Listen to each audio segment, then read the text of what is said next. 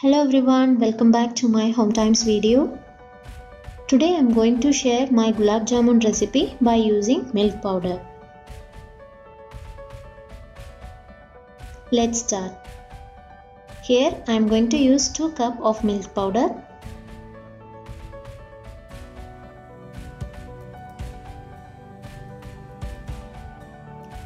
Two teaspoons semolina,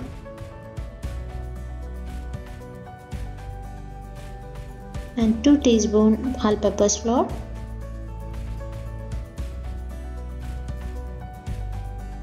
Half a teaspoon of baking powder. And pinch of cardamom powder. Now mix all these ingredients or either you can sieve this mixture. Add teaspoon of ghee Add 2 tablespoons of water and gently mix it by your hand to make a soft dough.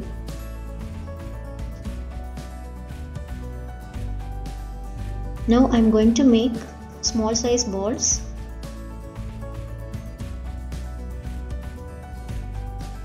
Don't press it too hard.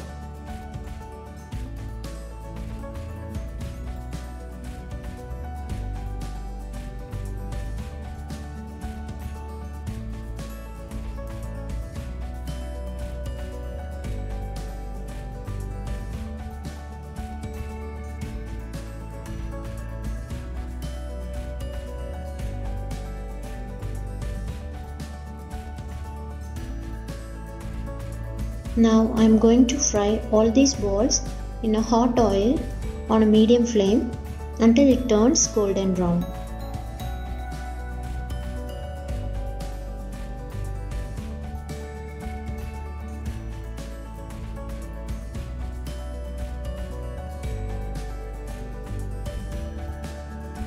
Now for making sugar syrup, I am going to add 1 cupful of brown sugar and a cup of water.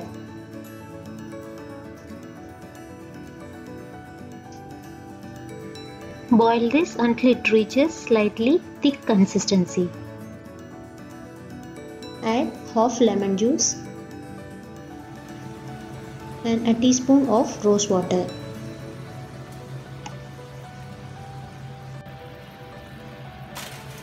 Now add pinch of saffron thread which gives more flavor and color to the syrup. Now I am going to drop all the balls into the syrup.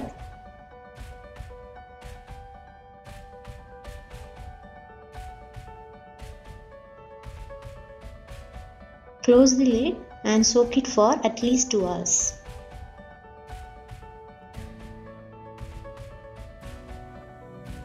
Now the gulab jamun is ready to be served. Try this recipe and enjoy the taste with your kids. Hope you would enjoyed my video.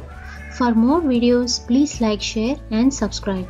And don't forget to press the bell icon for further notification. Thanks for watching.